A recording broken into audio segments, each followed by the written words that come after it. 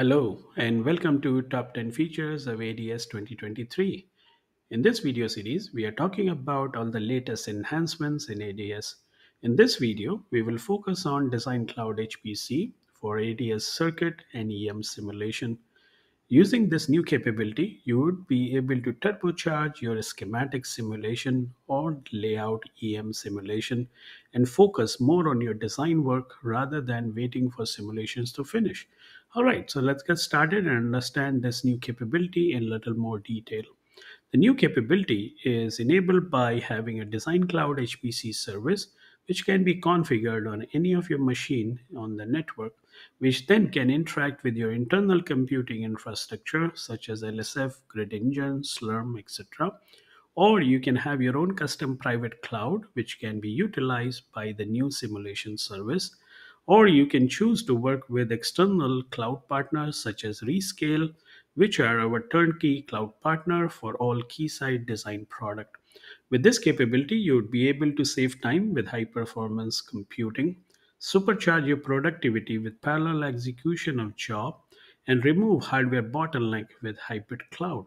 And the best part is the user can have ADS or either on Windows or Linux operating system as this service is totally transparent no matter what end you know operating system you might be using. Super cool. All right. Now, the license selection is also very easy because you only have three simple choices to pick and choose depending upon what you want to do. With one HPC EM HPC accelerator license, you can leverage all EM simulators in ADS. With Circuit Sim HPC, you can leverage all circuit simulators in ADS. And System Analysis HPC accelerator can be used with another product called Pathwave System Design. Now let's see some of these things in action and see how easy it is to utilize some of this infrastructure. Now for the first case study, I have a very simple LC low pass filter, which again, I'm not intending to show you a speed up benchmark, but rather focus on how to use and how easy it is to use this new infrastructure. Now, by default, when you go to simulation settings and notice the default simulation mode is local, that means you are utilizing your local machine to run simulation. Now, some of the previous menu options have gone here because all of them got consolidated under Design Cloud. Simulation Manager was always there for past few years in ADS, and this was our gateway to reach out to LSF and other infrastructure for parallel simulation.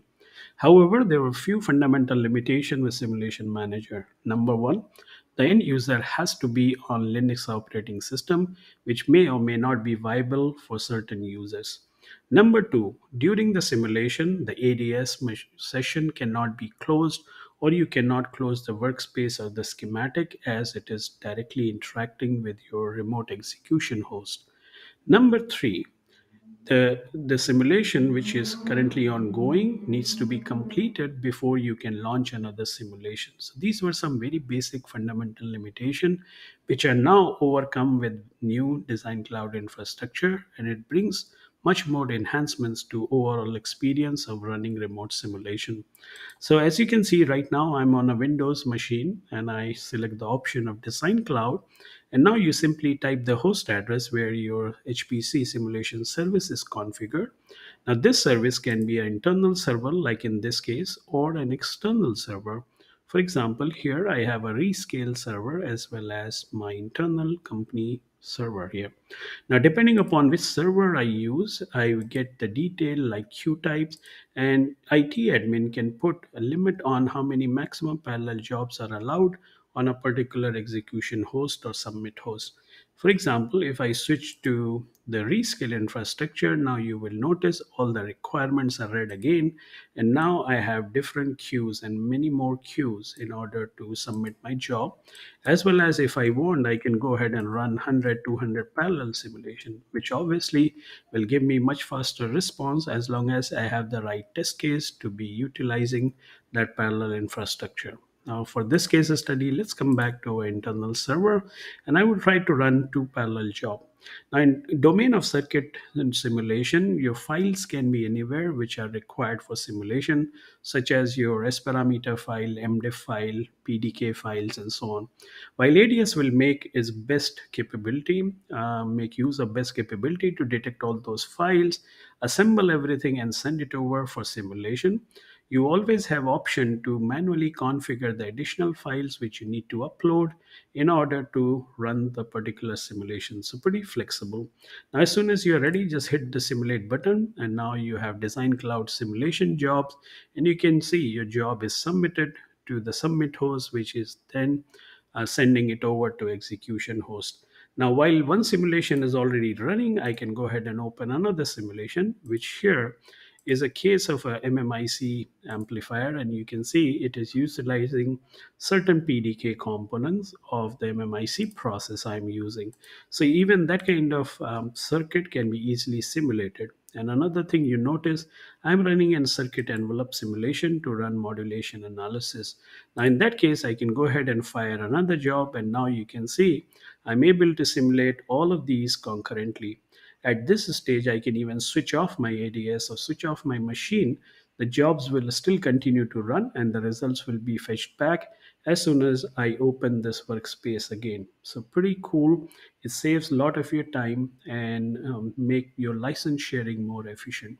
All right. So while that is running, uh, one thing I also want to mention here, while your simulation is running on the remote server machine, you can get access to the status of the simulation by simply clicking on this link which will then open a web service page where you can you, you know notice all the you know simulation status of your um, you know jobs which you are running you don't need to really get connected to uh, to ads session. So all the simulation properties and updates are provided on this web page. And of course on top of this you can always set an email notification system which will keep advising you on the status of your job when simulation is complete, you will have the data display where you can observe the result of your simulation. Now, at any given point of time, let's say, for example, here I can kill the job, I can cancel the job, and so on. So, for demonstration purpose, I just cancel the job here. All right, so this is about circuit simulation. Now let's turn our attention to EM analysis. In this particular case, uh, there are various level of parallelization you could do in EM analysis. In this case here, I'm simply running a parameter sweep of the values. Now when you run local simulation, all these parameter values will be queued up and one simulation will follow the another. So as you can see here they are all queued up. Once the first simulation finishes then only you go to next simulation. This is okay for faster simulation but what if each of those steps is going to take one two hours or even five hours? So running them in sequence will put a penalty of heavy time investment on my side.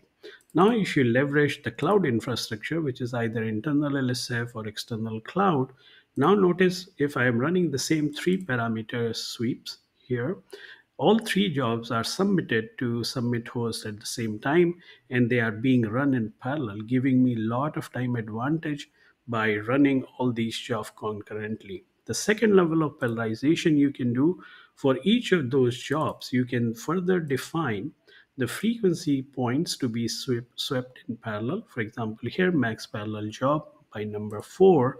In this particular case, this will not only solve these three different value combinations concurrently, but for each of those value combination, you can run frequency in parallel, further reducing the overall simulation time. So you can see how cool is this new design cloud HPC sim service infrastructure, whether you are a circuit designer or you are performing some complex electromagnetic simulations. So hope uh, you like this new capability and would like to give it a try. If you need more details on how to configure, how to get license of this new capability, please get in touch with your local Keysight support person. Thanks for watching and wish you all the best in your design work.